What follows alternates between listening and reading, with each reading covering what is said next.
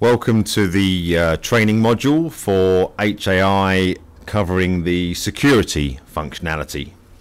We're going to talk through the couple of options we've got for incorporating an intruder alarm functionality into the HAI system. Security is uh, an interesting one. Um, it uh, certainly has a really good uh, tight integration with the concept of home automation. If you think about uh, most alarm systems out there have got PIRs and door sensors around a property that uh, really only get used when the alarm system is armed. All day long, when the alarm system's not being used, all those sensors uh, don't really do much. So, with the uh, HAI uh, home automation functionality, you've got a great opportunity to use all those sensors to do useful functions for a user. Simple example may be that uh, when the front door opens, of course, uh, we know when that happens because there'll be a, a security sensor on the door, a little door catch. So when the door is opened, we know about it. Maybe uh, if it's dark outside, let's turn the porch light on for the customer. Alternatively, um, when when the customer arms the alarm in away mode, uh, we know that there's nobody in the house. We know the house is empty, so we can do some sensible things like turn all the lights off, turn the secure, turn the audio off, uh, maybe uh, drop the thermostats back to an away temperature. And likewise, when the customer comes home and disarms the alarm, we might set up a scene around the house, both from a lighting and an audio, and bring the temperature back up to normal temperature, uh, cu customize that particular user. Being as we have different codes for each user, we're able to then set up things differently based on that user disarming the alarm. So there's some really nice things you can do when you incorporate security functions uh, into a home automation solution. First thing we have to kind of get our head around is the options that we have in how we uh, can do security within the HAI system. And some of this, well, a lot of this is driven from some of the UK requirements uh, for alarm systems within the United Kingdom. There's this thing called uh, EN 50131, which is a European directive. Uh, basically, if uh, your customer wants to be able to gain police response in the UK from their intruder alarm system, then firstly the system has to be approved by an installer who is certified through the NSI or the SSAIB. Uh, these are two independent bodies which ensure the installer is doing things correctly. Uh, used to be the old NACOSS uh, approvals, but that's long since gone. Um, it's now either NSI or SSAIB are the two bodies you as an installation company can become approved by in order to uh, approve alarm installations for police response. If you are wishing to do that, then you need to install equipment that uh, is compliant with this uh, uh European directive EN 50131. Uh, then, as an installer, you can then apply for a URN, which is a unique reference number. Uh, that then allows a third party monitoring company to then call the police in the situation where your intruder alarm goes off. Uh, so it's pretty rigorous um, to become NSI or SSAIB approved. You do need to be inspected, and they will uh, look at your procedures and processes and how you how you uh, conduct yourself operationally as well as the quality of the installation. And if the police do have um, several false alarms, then you can have your ability to obtain a URN revoked. So it's all about reducing the amount of false call outs because obviously these things cost money. With the HAI system, uh, we have uh, two options which are shown at the moment here in front of you. Uh, the Omni range of controllers uh, shown on the left hand side do have the intruder alarm functionality built into the controller. On the right hand side I'm showing the Lumina controller from HAI connected to an external uh, alarm box shown on the right hand side. The uh, right hand uh, option is NSI or SSAIB approvable to get a URN for police response. The left hand diagram isn't.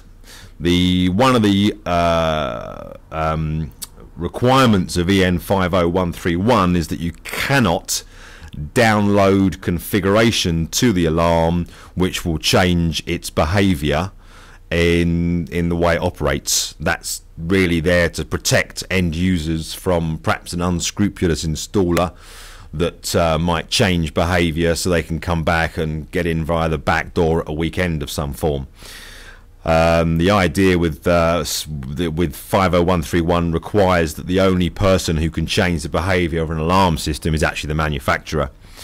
Being as our HAI control platform is a home automation system, and as you've hopefully gleaned from the in, from the previous modules, that uh, one of its values is being able to configure it and program it to do intelligent things. So unfortunately, being able to program the system as a home automation system is directly orthogonal to one of the directives in EN 50131. So we cannot make the uh, Omni system compliant to that European directive. That's why we put together the option shown on the right hand side of the page where we've basically broken all the alarm functionality out of the main HAI control platform and we've in, incorporated it into its own self-contained unit and that unit is compliant to 50131 uh, which can be approved by an NSI or SSAIB installer. The two then link together via an RS232 cable. This allows us to arm the alarm, disarm the alarm, trigger off of PIRs or door sensors that um, are triggered via activities in the house and be able to trigger automation functions similar to what I described uh, at the beginning. Uh, so really from a user perspective these two architectures are identical from a user point of view from the iPad app or the Android app or the touchscreen the user sees a seamless system able to perform all functions uh, but back in the equipment room, we've broken the alarm functionality out, in, uh, functionality out into a separate standalone piece of hardware that allows us to achieve compliance with the European directives. So the right-hand solution is a brilliant solution uh, in order to comply with those directives and then if you are a NSI or SSI approved alarm installation company or you can buddy up and subcontract the alarm installation out to uh, an NSI or SSAIB approved company, then you can achieve those goals. And indeed, the right hand diagram is quite nice logistically because it makes provides a very clean demarcation that if you subcontract out the alarm work to your NSI or SSAIB approved alarm buddy, um, then there's a nice clean demarcation. The alarm company fits the alarm security box and um, and then you can fit the controller and the audio and the lighting and do all the programming and that kind of stuff so that actually works very well from a, a logistical point of view for installers who are not NSI or SSAIB approved uh, there's nothing wrong with the left hand diagram it's not illegal um, or anything inappropriate to install the uh, Omni based uh, alarm intruder system um, however, you won't be able to get police response. You can have the system call you up and dial up uh, up to eight phone numbers to let you know the alarm's going off.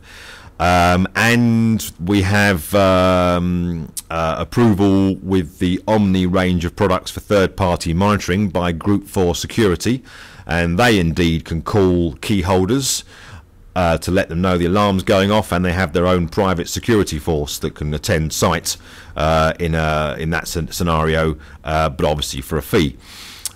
The uh, but you can't get police response. Um, so you've got to weigh up what's the right solution for the customer, what's the right implementation. Um, in many scenarios with uh, perhaps more affluent clients that their insurance require them to have an NSI or SSAIB approved alarm installation, then you'll be on the right hand chart. For um, for the purpose of the rest of this module, we are going to be talking about the left-hand architecture using the Omni and going through the intruder alarm functionality of the Omni system. Uh, and there will be a separate on uh, separate online module on this website for the right hand uh, system. So I'm going to move on to uh, to that right now. Wiring in PIRs. This is um, relatively straightforward and industry standard. Most PIR uh, sensors have six terminals shown uh, on the diagram. You've got 12 volt power plus and minus. At the far left hand two scroll down terminal blocks. They require permanent power. The Omni uh, panels, the the light, the 2E and the Pro all provide 12 volts off of the auxiliary outputs shown in the upper layer of screw down terminal box. So you can get your 12 volt power from there via a two core cable. On the actual PIR, we've got alarm contact and we've got tamper. These things are generally open circuit when everything's fine and closed circuit when I've got a problem. Um, so if it's a motion sensor, when I detect motion, the alarm contacts will go closed circuit. We've also got two, two connections for tamper. Underneath the PIR cover, there's a micro switch. So when you pull the cover off, uh, and also a micro switch behind the PIR. So if you yank it off the wall, then again the tamper is normally open for OK and closed circuit for uh, not good. Uh, something's tampering with me. Uh, now there's many there's a number of ways to wire these. Um, you could wire the alarm into a separate security zone. So remember on the uh, on the Omni panels, the you've got 16 security zones that you can wire into. It's expandable with expansion panels uh, up to many many zones. The but uh, so you could wire the alarm into a separate zone and the tamper into a separate zone. That has the advantage that you'd know exactly if there is a tamper, which device is being tampered with, and you can differentiate between just motion sensing and tamper. Or what most people do is wire it the way I've shown here, where you go in on alarm and out on tamper. Um, the advantage of that is that you use up less zones on the controller. The downside is though if a tamper occurs, well you can't really differentiate between a tamper and motion. Um, a third option of course is to wire all the tampers together into one zone and have all of the alarms wired into separate zones. That uh, gives you separation between alarm and tamper but um, you wouldn't know which zone was being tampered with. So you've got three options there. Most importantly, however, you do need to get your head around this end of line resistance concept. The um, the idea here is that um, I kind of I said it's open circuit when everything's okay. That's not strictly true. If that were true, there's nothing to stop someone just cutting the wires and because that's also open circuit, and you wouldn't know if an alarm uh, of a sensor has been removed. So actually, the reality is um, it's not open circuit for OK. It's 1k ohms. That's a thousand ohms resistance being offered. Uh, is OK and closed circuit for alarm. The idea there is that this, the actual circuit is supervised, it's monitored, so there's current continually running from the main panel through the PIR uh, in order to ensure it's still there and everything's okay. So in actual fact, it's 1k ohms is everything's fine, closed circuits for when I have motion or tamper. So then if someone were to then cut the wires, we'd know about it. It'd go from 1k ohm up to open circuit with infinite ohms, and then the system would know there's a problem, and the zone would be shown as having trouble, um, which would then uh, alert the user by dialing out and, and making the bell box go off and the like.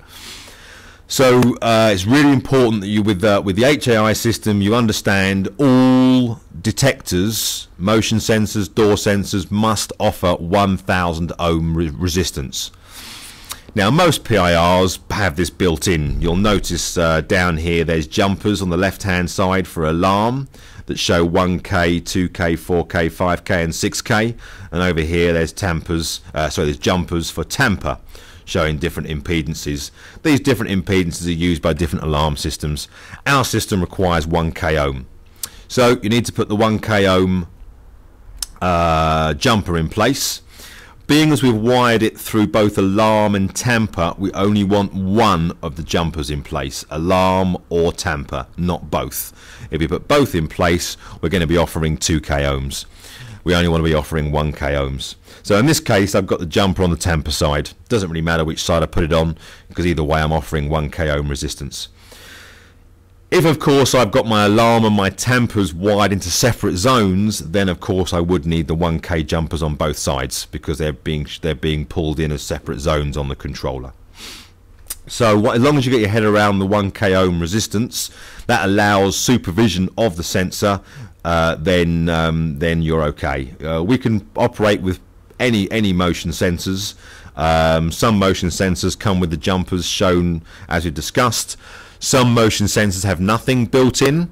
That's okay. Uh, with each HAI control panel, uh, they are shipped with 10 1k ohm resistors in the box.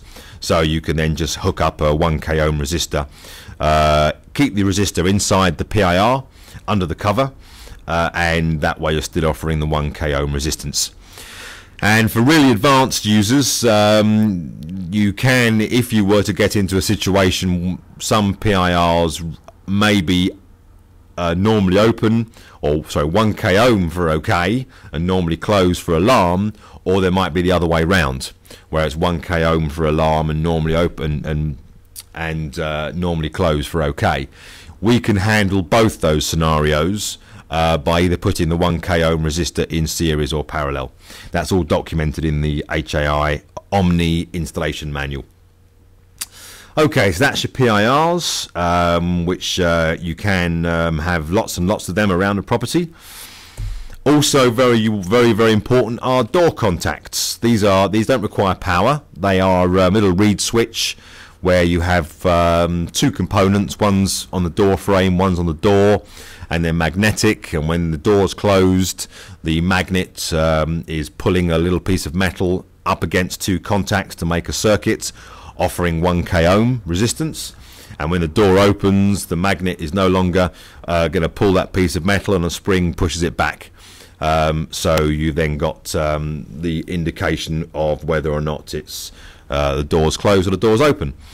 Um, again they've got two lots of screw down terminal blocks for tamper and alarm uh, and again the simple way to wire these is as shown on the diagram go in on tamper and out on alarm uh, only uses that one zone. Make sure your jumpers or your external resistors are set up uh, inside the uh, door sensor uh, with 1k ohm resistance for when the door is secure, the door is closed. So uh, they're uh, normally common to put one of these in the front door, one of these in the back door. Any doors that are on the ground floor where you've got entry exit points to the building should have a should have a door sensor of this nature. We also have a range of wireless sensors that can be incorporated into the system. The uh, if you're going to use any of the wireless products, you do need to use the wireless 64 zone receiver. Uh, device. This wires into the HAI controller using four cores of a Cat5 and that wires into the same pins as the console wires. Um, two pins provide 12 volt power, and then you've got a pin for A and a pin for B. It runs on the internal RS485 bus of the system. So each of these sensors uh, will actually allow 64 wireless devices. That's 64 wireless zones, and on a Omni Pro 2, you can have two of these devices. That gives you up to 128 wireless zones. You may choose on a large property to have two of these, perhaps for range reasons. If it, you know this is wireless, it uses a 400 megahertz uh, frequency, so it's quite good on range, but it does have a limit. So on a really big uh, property, you may have one on the east wing and one on the west wing uh, in order to make sure you've got good wireless coverage to uh, cover where the wireless sensors are. And it's only a Pro 2 that can support two sensors. The 2E and the lights will only support one. So bear that in mind when you're planning your uh, your system. The range of um, types of sensors that we have um, quite comprehensive. Starting from the top left, the top left is actually um, an interesting uh, uh, sensor. It allows you to actually measure um, tilt. Can, it's great for putting on a garage door. Um, it's got a little mercury switch in it, so when it's attached to the garage door, it's vertical and then when the garage door opens, the up and over door makes it go horizontal, and that could then trigger it. Uh, it's also got a second use as well. It um, inside you can wire into it um, a third party device. Let's say you've got a, a light beam sensor which um, perhaps has a contact closure when the light beam's broken but it's not wireless. You can wire that into the internal pins on this guy and therefore wireless enable a non-wireless device to be able to trigger from. So that's a very useful little chap. Uh, we've also got a wireless motion sensor, um, very, very easy to install. Obviously, any of these wireless products are because there's no wires. But with the PIR, you just screw it to the wall uh, via a little mounting assembly that comes with it. The next one is a recessed door sensor, very popular because um, completely invisible when the door's closed. You, you, drill a hole in the door and drop the barrel into the door, and then the magnet goes into the door frame. And when the door's closed, A, you can't see it, and B, you can't get to it, so you can't tamper with it. Um, and obviously, that then tells you when the door's opened or closed. All of these devices, by the way, obviously have batteries in them. Uh, long life batteries, they last for years, uh, and when the battery starts to get low, it does come up on the console or the touchscreen indicating that um, uh, battery is low for a particular sensor, so you can change the battery um, before uh, it dies. The next two are very similar. They are uh, window contacts or windows or door contacts. Um, there's two parts to uh, the, the vanishing one is simply a white chamfered uh, plastic that kind of blends in well with UPVC windows, thus the name Vanishing. Uh, it does come in two parts, um, even though the picture only shows one, one, one item. Uh, one part goes on the door frame, one part goes on the door, and then when the door opens, they separate and it triggers. Uh, same for the wireless contact shown on the top right. Um, same concept, it's just slightly, slightly bigger and a bit more bulky, um, but they both perform the same task. So they're all the sort of sensors that you might use for your security, uh, for doors and, and PIRs. Moving down to the bottom row, you've got a driveway sensor, bottom left. This is quite interesting. This actually detects large metal objects moving in the Earth's magnetic field. Uh, so this is obviously designed for detecting cars. So you can put one of those guys on the uh, next to the driveway, and if uh, as a car drives by, then uh, it detects that the uh, that the car has uh, uh, driven past it, which might trigger you to turn some driveway lights on, or maybe make an announcement that there's a visitor in the driveway, so you know there's somebody pulling in pulling in the drive. the um, the next one is a break glass detector this guy's basically got a, a, microphone in it which is tuned to the sound of breaking glass. So where you might have a, a large, you know, bay windows in a lounge, you could put uh, the wireless break glass detector on the opposite wall, and if someone breaks glass when the alarm is armed, then that will trigger. If you do use one of these, then do expect to have to buy a break glass tester which is um, a device that makes the sound of breaking glass so you can test it. It's not too practical smashing bits of glass in your customer's lounge uh, in order to make sure it works okay. So just bear that in mind if you use a break glass detector. The uh, that they're all really the main security uh, detectors. Um, also in the wireless portfolio, we've got a four-button wireless keypad. Uh, this um, keypad uh, can be is great for retrofit or if you just want to expand some more buttons maybe in the garage to turn some lights off and on but there's no cables out there. You can put this keypad in place and you've got four buttons that are all programmable to do things. Um, it's actually got eight functions because you've got single button presses and you've got some two button combinations which gives you eight discrete functions. It shows up as eight zones um, which you can then trigger off of to perform tasks. You've then got the uh, wireless four button key fob. Uh, this is very popular. Um, you can hang this obviously on your key ring and then looking at the symbols you can clearly see maybe the top left button might be when I'm leaving the house. You press that button it might arm the alarm in away mode. Um, turn your lights off, turn your music off, set the thermostats down to an away temperature and then the next button is unlocking the house when I come home that might disarm the alarm perhaps bring the temperature back to a normal temperature and maybe set up some lighting and maybe even turn the audio on um, and then you've got some other buttons at the bottom there that you can customize for your own customers purposes Uh, and then lastly, you've got a panic button. That's a, a wireless uh, panic button. That um, it's a single button. Comes with actually with a neck, uh, a neck, uh, a neck um, uh, necklace thing where you can hang it around your neck.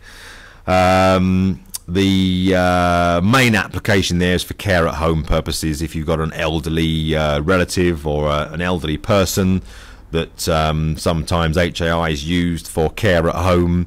Um, and if if that person were to fall over, they can press the button from their uh, neck holder, and um, and that might then the system might dial out to the monitoring company, um, who will then send a nurse round or something of that nature. Um, so that's the uh, purpose of that uh, wireless uh, single button that hangs on a pendant around your neck. Okay, um, for the wireless, for any of the wireless devices, you do need to um, make them up with the wireless receiver. Um, the process for doing this is very straightforward. On the wireless receiver on the right hand side, just underneath the HAI logo, you can snap that bottom bit off, and there's two buttons under there. Uh, you need to put it in programming mode by pressing and holding the mode button. Um, that gets you into a programming setup then and it displays A1 uh, A1 is the, the number of the receiver. So if you have two of them you set one to A1 and one to A2 press the mode button again and it displays N1 I'll come back to that in a minute. Press the button again and it displays a 1 which is address 1 and there'll be no dots at the bottom of the 1 so now you take your wireless transmitter, your door sensor, uh, make sure that the uh, battery is in place. You separate it and put it back together again. And then the one will flash and it will get two dots. And that now indicates that that sensor is mated up into address one. Press and hold the mode button to exit the, the uh, uh setup mode and now if you trigger the sensor by separating them again, you'll see the receiver flashing AL1, showing that alarm 1 is active. And you repeat that process for each transmitter, putting each uh, transmitter into a unique uh, address. Um, some devices come up with two dots, some devices come up with one dot. Uh, don't worry about that, don't change that, leave it as it is. Uh, basically, two dots means it's a supervised device and there's keep alive messaging going on to make sure that the device is always in range. Whereas one dots, the one dot devices are not supervised, so if they go out of range, it's okay. The HAI control system doesn't complain. Obviously, the what the uh, key fob is uh, unsupervised because you may well, well, you will put that on your key ring and go to work, and that'll go out of range that's okay. Whereas the sorts of sensors that shouldn't ever be out of range, like door contacts, PIRs, they are supervised and if uh, the system can't talk to them for more than two or three keep alives then it starts to complain and put messages up saying that it's got trouble with the backdoor sensor and so on um, so that's quite useful uh, to useful to know that um, the N1 is a mode. Um, there's four different modes you can use. Um, one mode gives you 64 discrete zones with 64 different sensors. Um, a different mode allows you to have 16 zones with four sensors per zone. And then you've got some other modes with a combination thereof. So um, that's uh, it's all well documented. One thing that's very good about the HAI products is um, there's a really good data sheet comes with every single product, uh, and the different N1 to N4 modes are documented in the uh, wireless receiver data sheet. Internal and external sounders are uh, essential for any intruder alarm system. Uh, you need at least one bell box on the outside of the house and ideally a, uh, an internal sounder inside the house as well. So it's very clear and very loud, and you may even have multiple sounders in a very large property. We, uh, with the HAI intruder alarm system, it's 12 volt applied. So it applies 12 volts when we want the alarm bell sound, bell to sound. Um, different systems on the marketplace vary. We're 12 volt applied. Wiring these things in uh, is uh, what for the external sounder is shown below. That uh, can be a bit tricky because external sounders have got a brain of their own and their own battery backup, and they can start doing stuff of their own volition if you're not too sure what's going on. So within our bell box, different bell boxes will vary, but the one we supply um, has these screw down terminals here. Starting at the bottom, you've got a permanent 12 volt power supply. Um, again, we've got 12 volts off the main HAI controller on the 12 volt auxiliary output, so you wire that straight into there. And that's a constant 12 volt power supply. The HAI system is battery backed up, so even in a power failure, we're still delivering 12 volts to the alarm bell box. That charges the battery inside the bell box. And if that 12 volts is cut, then the bell box thinks it's being attacked and the sounder will sound using its own internal battery. Um, next, we've got a bell and strobe pins. Uh, we want both the bell and the strobe to go off when the alarm's sounding, so we can wire uh, into both of those pins up onto the main HAI panel. Uh, it's labelled, uh, it's in the upper layer of screw down terminals, and it's labelled, as you can see, horn. Uh, you've got an int, ground, and ext. So we're using the external sounder. Uh, we wire this strobe and bell into the external sounder pin. Now, uh, this is a supervised circuit again, because uh, obviously if that wire's cut, then that disables our ability to make the bell box go off. So that's a supervised circuit. There's continual current running through there, down and returning back through the minus on the 12 volts to ensure the bell box, um, you know, 12 volt applied cable is intact. Um, in order for that to work, there is a residual 2 or 3 volts running through there. To make that work fine, we need a 1k ohm resistor as shown at the top of the page between the ground and the external pin. Um, again, there's 10 1k ohm resistors in the box, so one of those resistors is fine. That then gets the voltage just right so that we've got 2 or 3 volts running through the system uh, permanently to supervise it and 12 volts when we want it to go off. So don't forget that resistor. Otherwise, uh, your bell box will sound continuously, even when we don't want it to. Uh, next, we have the tampers at the top here. The bell box itself has a tamper on the cover when you lift the cover up, and it also has a tamper on the back of the bell box. So if you rip it off the wall, the tamper is triggered. We can wire that into one of our tamper zones on the uh, one of our 16 zones on the main controller main board. This, uh, obviously, as discussed, requires 1k end of line resistance. Um, we don't have any resistance being offered from the from the bell box, so we need to use one of our 1k ohm resistors in here. Make sure you fit that inside the bell box, because obviously, if someone cuts the wire, we need that will then go from 1k ohms to infinite ohms, and then we'll know about it. And um, these HAI system will go into an alarm state. So that's how you wire in the uh, the uh, the external sounder. Very importantly, as well, is our dial-up facilities because um, when the alarm's going off, we need to dial out and tell the customer. There is a built-in dialer built into the Omni panel. The um, HAI panel comes with a little junction box, which is what we're looking at here. Um, the junction box allows you to wire in the telephone, incoming telephone line. So I've got the telephone master socket shown there, and we wire that into the lower two pins on the red and the green. Um, and what happens is the telephone then goes out through the RJ45. You, as well as the junction box, you have a cable with an RJ45 shown at the top, which goes up, and there's some little spade connectors that connect onto the HAI panel.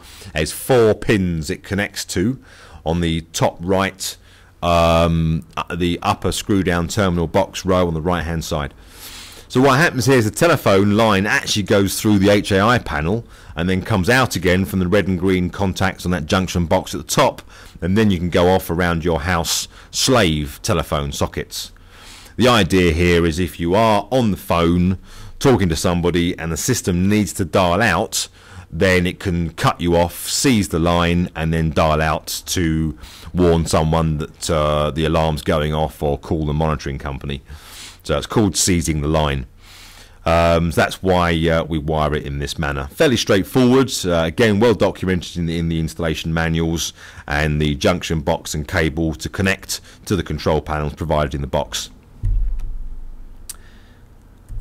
Alternatively, what's very popular and what most people use is our GSM dialer. Um, the GSM dialer allows you to really give the HAI system its own dedicated phone line, so it's not having to share the house line. This has a number of advantages, uh, one of which is when it's dialing out, you know it's the alarm system calling you because you've got a unique phone number for it. And you know, with with uh, modern smartphones, you can you know put in a different ringtone and stuff like that. So when you know it's the alarm system calling you rather than the, uh, the, the, the domestic landline from the property calling you. And of course, um, it's far more secure because uh, a potential intruder, by cutting the phone wires on the outside of the building, are not going to cut off the ability for the system to dial out and warn somebody. So um, it's very, uh, uh, very robust. Uh, two, two modes of operation for this. Uh, you can either use it as your primary mechanism for dialing out, which is shown on the left hand side. You can see that the um, HAI controller is wired into the C3 GSM dialer that dials out via the GSM cellular network to call either the central monitoring station or a landline or your mobile or all of the above. The other option is to use it as a backup mechanism for the landline. So therefore you're using the landline as your primary mechanism for dialing out, but should the landline fail, then it'll use the GSM as the backup. Uh, but then you're back into not knowing if it's using the landline, not knowing whether it's your house line or your or your um, GSM dialer uh, that, that, that's calling you. So um, it's uh, predominantly the left-hand diagram that most people use. The uh, the C3 uh, GSM dialer is battery backed up, so it's got its own battery built into it, um, so that it will continue to operate in a power failure. That should a, a, a, an intruder cut the power to the house, um, your HAI controller's battery backed up, your GSM dialer's battery backed up, um, all of your um, sensors are getting the power from the main controller, uh, or they're wireless with their own batteries, so your intruder system is still going to work, even in a complete power failure scenario. You do need to put a SIM card in it in order for it to dial out. Uh, don't use um, pay as you go SIM cards because they expire after three months of not being used, and then you leave yourself vulnerable to not knowing if your uh, alarm system can dial out or not. So get a proper SIM card. You can normally get a second SIM card on your mobile phone tariff relatively inexpensively, um, and then you've got peace of mind that it can it can dial out. So in this case, um, using it as your primary dial out mechanism, you can see the back of the uh, C3 here. Um, it's got a phone connection and you wire from there onto your two pins for the incoming. You know, if you want to test it, um, you could wire a phone, a domestic phone, off of the upper pins. And when you pick up this test phone, it will then allow you to get a dial tone you can dial out using GSM. Or perhaps your customer wants an emergency phone where they can dial out uh, if their landline fails. Um, so you could employ that as a mechanism. Uh, but primarily, when the HAI system needs to dial out, it can do so via the, via the C3 if you're using the C3 as a backup to the PSTN, the the the, uh, the main landline, then you go from your BT master or your master socket into the into the socket labeled PSTN, and then from phone into the HAI system. Now, what will happen is you'll dial out using the landline, and you'll only dial out on GSM if the landline fails. Um, but if you're using a C3, uh, most people would be using the G using it for GSM for primary dial out, as per the previous chart. Just at this point, I'd like to hop into PC Access to show you some of the settings that we need to set up for the security side of things using the PC Access software. Um, as you're probably from, familiar from the previous module, um, we have a setup tab in PC Access where we set all of our functions up for programming the system. Codes are on the, is the first item. This is where you will set up all of your users for the alarm system. So uh, you can give every user a unique code. Mum gets a code, dad gets a code, all the individual children get a separate code, the cleaner gets a code. That way, everything's logged when you arm and disarm the alarm, so all activities are logged and you know who's done who's done what. In the event of something going wrong, you can look back in the log. To give everyone an individual code, the first code's always a master code that's locked down. Uh, there's always be one master code. Every other code can either be a user or a manager. Uh, the difference between the two there is that's really down to the dial-in facilities where uh, you can actually dial into an HAI system and you have a menu where you can actually activate functions for lighting, heating, security. Um, users don't have those functions, but masters and managers do. Uh, again, you can refer to the uh, to the manual for more detail on the authority uh, of each user. Uh, you can also restrict users down to certain time zones uh, as to when they can use their code. Um, a cleaner, for example, their code may only work on a Tuesday between 9 and 5 because that's the day the cleaner comes, disarm the alarm to come and clean. Uh, their code will not work at the weekends. So that's quite a nice feature, being able to lock codes down for uh, third-party, you know, contractors and so on, um, that they can only access the, the house at certain times a day. So give each user a separate code. Uh, under dialing, this is where we tell the system whether or not it has dial out facilities to be able to dial out. So you have a yes on the telephone access. I've got no in this case for this particular example. Um, but also you specify uh, if it has got telephone access whether or not the system can answer incoming calls and therefore give you access to the um, the menu system to be able to uh, activate functions via a touchtone phone. Uh, if it is going to answer calls, how many rings before answering?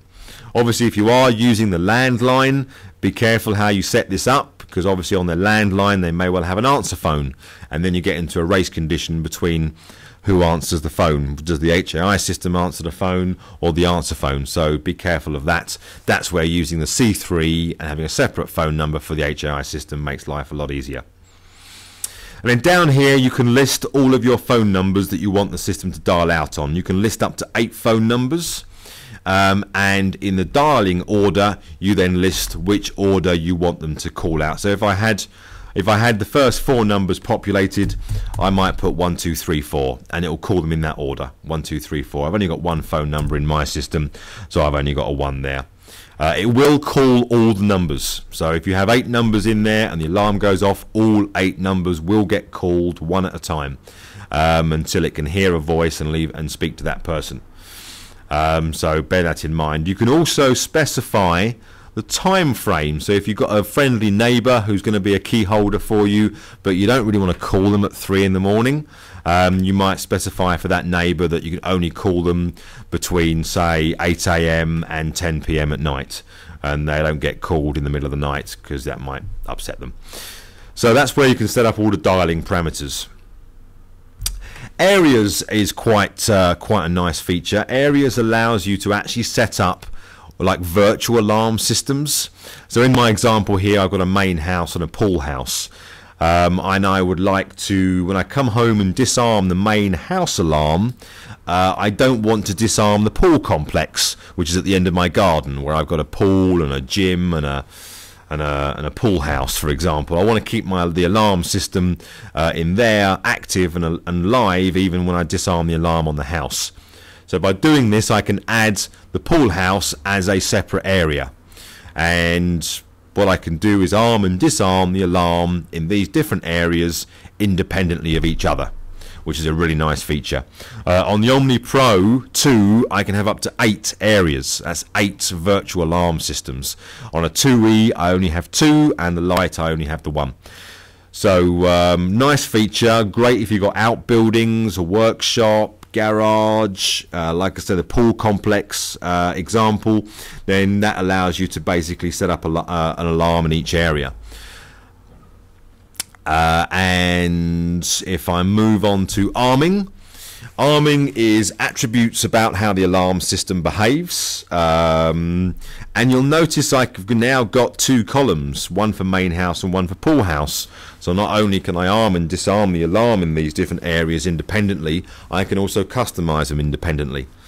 So examples at the top here, I've got my entry delay. So this is when I when the alarm is active and I've come in the front door and I dis- and the, the front door's triggered, the alarm starts beeping at me. I've got a 30 second entry delay is how this has been set up here. I've got 30 seconds to enter my code to turn the alarm off before the bells start going off. Likewise, I've got an exit delay when I enter my code in my alarm panel. Then I've got 30 seconds, it starts beeping. I've got 30 seconds to exit the building before the alarm's fully armed. And that's customizable uh, per area, as you can see. And there's a few other attributes in here. Um, I've got chimes that I can turn off and on. So on an entry exit zone, every time a front door opens and closes, it will chime when the alarm's not active. Um, that's useful in, in, commercial and shops, just to let know someone's coming for the door. You probably turn it off in a domestic environment. And perimeter is for doors. Uh, for windows, beg your pardon. Entry exits for doors. Perimeters for windows. You'd probably turn those off in uh, in um, uh, a domestic scenario.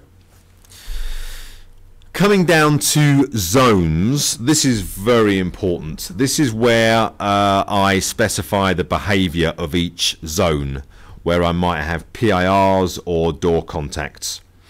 Um, there's quite a lot of different zone types that I need to get my head around um, for setting the system up. Fortunately, there's only a handful that you're going to use, and fortunately, HAI have documented this in their help menus.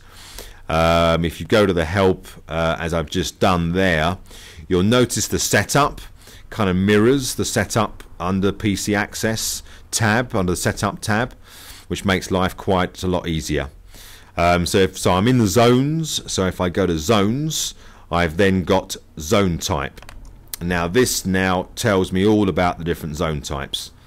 And the main ones you're going to use are the ones listed at the top. So entry exit, that's for your doors that you will enter and exit the building from. If you trip one of these zones, then it will trigger the entry exit delays. So you want to set up any door sensors for any entry exit points as entry exit. Perimeter, you use that for any windows, any any um, way that was someone shouldn't be entering and exiting the building, you set up as a perimeter. When these trip, when the alarm is set, the alarm will go off straight away. There's no entry exit timer. Night interior and away interior is for your motion sensors. Just a quick uh, summary of how you arm the alarm on the HAI Omni system on the console, the keypad. You can arm the alarm in away mode, night mode, day mode, and off. Is obviously turning the alarm off. In away mode, everything's active. You've left the house. The house is empty. In night mode, you're obviously upstairs in bed. Um, so you want everything active apart from the PIRs upstairs. Um, so we need to differentiate between the PIRs upstairs and downstairs. That's where this comes in. So night interior is for motion detectors in areas where no one should be while you're sleeping in your home. Uh, for example, uh, in a two-story building, then that will be for your downstairs motion detectors. And away interior is where no one should be whilst you're away. So uh, in the previous example, that will be for your upstairs PIRs. So downstairs PIR set them up as night interior, and upstairs PIR set them up as away interior. And Further down the list, I've got my panic and tampers. So any tamper circuits and any panic buttons, I set them up as tamper or panic in the zone types. So that's the zone types you're going to use. Entry exits for your doors, perimeters for your windows, night interiors for your PIRs downstairs, away interior for your PIRs upstairs, panic for any panic buttons, and tamper for any tamper circuits. They are the main zone types that you will use. Um, there are a lot more zone types that you can play with for fire, for gas, for freeze, water, all sorts of useful different uh, types of zones.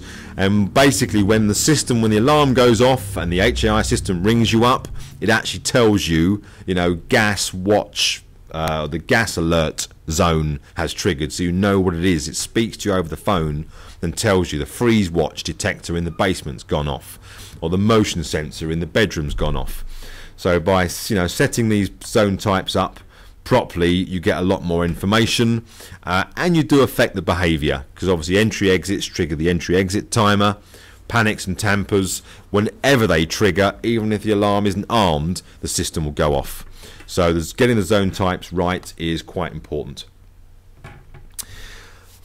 Just to finish off arming the alarm, I meant I went through the uh, night, uh, day, uh, the night and away modes. I didn't mention the day mode. If you arm the alarm in day mode, it's really for when you're in the house, but you want to feel secure. So all your entry, exit, and perimeter zones are active, but none of your motion sensors are. So you can move around in the house comfortably without triggering anything off.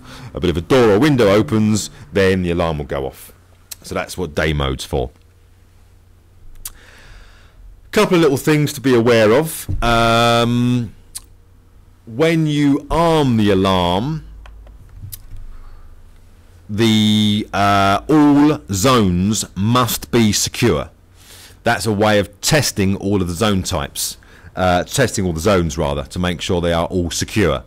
So if you try and arm the alarm and the windows in the bedrooms open, then on the console it will say, you know, bedroom window not ready and you can press hash to retry or you can bypass it and just ignore it. Or you can do the sensible thing go upstairs and close the window. Uh, and then you can come back and arm the alarm because all zones are secure. One thing that does catch people out is uh, maybe they're at the front door and the front door's open because uh, the kids have run out to go and get in the car. Um, you do need to close the front door to arm the alarm so that it can see all zones are secure and working correctly. Then you're into the exit delay, then you open the door and leave the building and close the door. During the course of that activity, the HAI system has seen an entry exit zone trigger um, during the exit delay so it knows you've left the building. If you arm the alarm in away mode and you do not trigger an entry exit delay, the alarm will know you're still in the building and it will revert to day mode instead of away mode. You can override that function if you want with this feature here, unvacated premises. By default that's set to yes.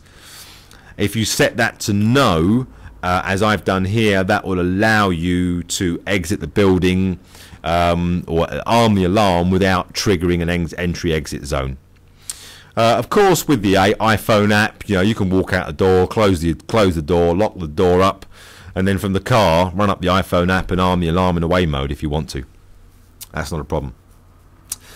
The other thing that catches people out is the fact that all zones must be secure when you arm the alarm. If you have a PIR overlooking the front door where you would be standing to arm the alarm using the console, you may well be triggering that PIR when you're standing there. So um, if you if you end up in that scenario, you kind of need to stand very still and just press the hash key to retry um, when the PIR is not picking up motion to be able to arm the alarm. That's not a great place to be. So when you're planning and designing your system, make sure your PIRs are not covering the area where you would stand to operate the console to arm the alarm. The front door should be protected properly via a door contact. Um, so you can have your PIR covering the hallway, leaving a dark spot where you'd stand to arm the alarm at the console, knowing that the front door is still covered by the fact you've got a door contact there. So watch out for that one, that's caught a few people out. So uh, that's the um, the main things you need to do to set up the uh, the security system. Um, obviously, there's a few more attributes against some of those different items. Um, that's all well documented in the uh, user manual. I will just go back to zones because I wanted to highlight the fact that the area um, is listed here. So in order to associate a zone with an area, uh, after you've set the zone type up, you then set up the area type. Um, that then allocates that zone to that area. So that's quite an important one. Um, cross zoning is uh, if you have multiple security sensors. Uh, if you want to group them together, then if if one sensor goes off, it doesn't trigger an alarm unless both of them go off. Um, that kind of gives you that um, sort of double effect, so that when if to have a real alarm, both sensors might need to go off. So maybe a door sensor and a motion sensor both have to trigger within 60 seconds in order to make it a real alert. Swinger shutdown is um, where you might, might have as if you enable that, then it will automatically shut that zone down if it triggers the alarm off more than two times. Uh, the idea is you've got a, a, a, window or a door swinging in the wind and it keeps triggering the alarm off. So if the alarm goes off multiple times as a result of that, when it resets on a second time, it will disable that zone if you've enabled swinger shutdown. Uh, dial out delay enables you to, uh, to, to, to delay dial out on a per zone basis. That uh, if you're dialing out to a monitoring company, you've accidentally triggered a sensor. You might want to delay the dial out by 10 seconds. That gives you enough time to disable the alarm if it was accidentally triggered, so you don't end up calling the alarm monitoring company. Where you see these DCM codes, don't mess around with those. They are standard codes. That's what's used with alarm monitoring companies. So if your system is being monitored by Group 4 security, it'll uh, send those um, those codes out to the monitoring company. So do uh, don't mess around with those. If you are wanting to set up Group 4 uh, third-party monitoring, let us know and we can help you out with that. Well, we've covered um, most of the aspects of setting up an Omni um, as an alarm system. Um, I hope you found this module useful. There are um, lots of uh, other information available to you on our website and on the HAI website. And uh, of course, there's lots of other modules available to you um, uh, from this website uh, in this HAI training curriculum. So I hope you found it useful. Any questions, uh, you can email us at sales at aldoussystems.co.uk um, or you can call us on 01296 719 582. Um, and of course, our website is www.aldoussystems.co.uk. Thank you very much, and I hope you uh, tune into the next training module.